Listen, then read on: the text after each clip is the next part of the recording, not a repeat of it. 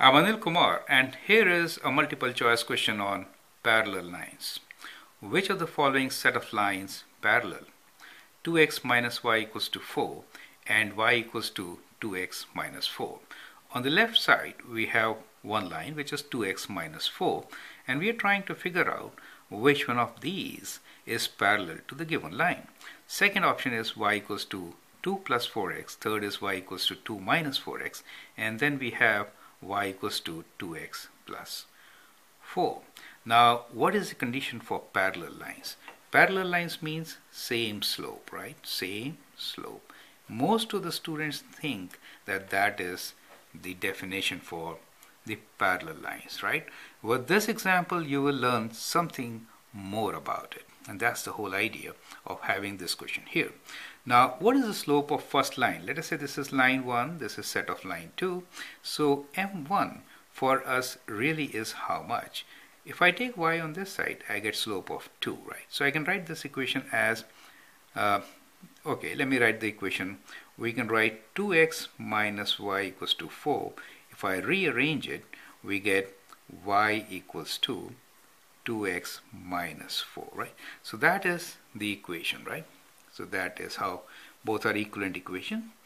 So we know slope m1 is indeed 2, right?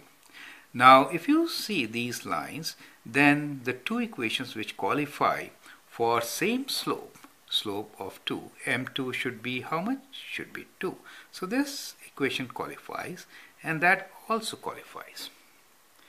But are both uh, parallel? Can you answer that part? Well, if you compare the equations, you'll find that y equals to 2x minus 4, y equals to 2x minus 4 are exactly same lines. They are coincident. They are not parallel. Let me graph and show you. I feel this is extremely important for all my students to understand. So when we have this line y equals to 2x minus 4, y-intercept is minus 4, slope is 2, so I can draw something like this, right?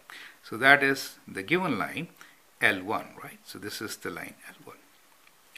Now, if I draw y equals to 2x minus 4, it will overlap, right? It will be on the same. They are not parallel. They are coincident. Do you see that? The solution is D because that one has the same slope but the y-intercept is different. Do you see that? So that is the solution. This is plus 4, this was minus 4. So the solution is D. So important thing which we learn here is slope should be same. That means m1 equals to m2. But the other part is the y-intercept should not be same, right?